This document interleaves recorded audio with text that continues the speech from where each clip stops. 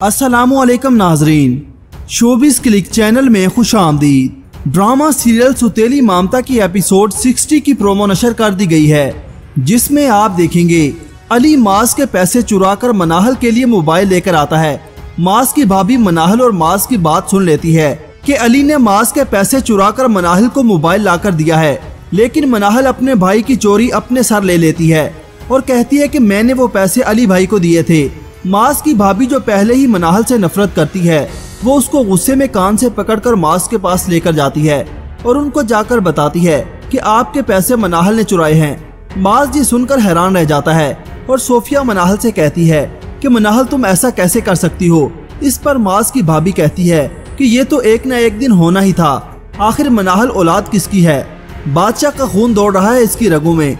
आगे आप देखेंगे कि सोफिया अकेले में मनाहल से पूछती है तो मनाहल अपनी वालदा को सब सच सच बता देती है कि पैसे अली भाई ने चुराए थे और इन्होंने ये चोरी मुझे मोबाइल दिलाने के लिए की थी। मास पीछे से आ जाता है, वो मनाहल की सारी बात सुन लेता है और उसको अली पर शदीद गुस्सा आता है। मास ये बात सारे घर वालों को बता देता है कि चोरी मनाहल ने नहीं बल्कि अली ने की थी। इसलिए मास के बड़े भाई जुबैर सारे घर वालों को अपना फैसला सुनाते हुए कहते हैं कि अब हमें अली का इस घर में आना जाना बंद करना होगा। जुबैर की इस बात को सुनकर सोफिया दुखी हो जाती है, क्योंकि माँ तो माँ होती है। अली जैसा भी है, लेकिन है तो उसका बेटा ही। आगे आप देखेंगे कि अली फिर से मास के घर आता है। जुबैर उससे कहता है कि तुम घर के अंदर नहीं जा सकते। इस पर अली गुस्से में कहता है कि मैं अपनी बहन से मिलने आया हूँ और उससे मिले बगैर कहीं नहीं जाऊँगा।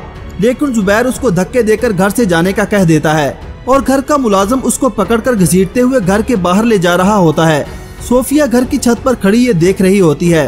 उसका दिल चाह रहा होता है कि वो मुलाजम को रोक दे, लेकिन वो मजबूर होती है। आगे आप देखेंगे कि अली घर से निकाले जाने के बाद बहुत गुस्से में होता है और वो अपने वालिद से किसी काम के करने का कहता है। इस पर बादशाह कहता है कि जो काम आसानी से हो सकता है, उस काम को उलझाने की क्या ज़रूरत है? क्या अली दोबारा उस घर में जा सकेगा? अपनी राय का इजहार कमेंट सेक्शन में ज़रूर कीजिएगा। अल्लाह हाफिज।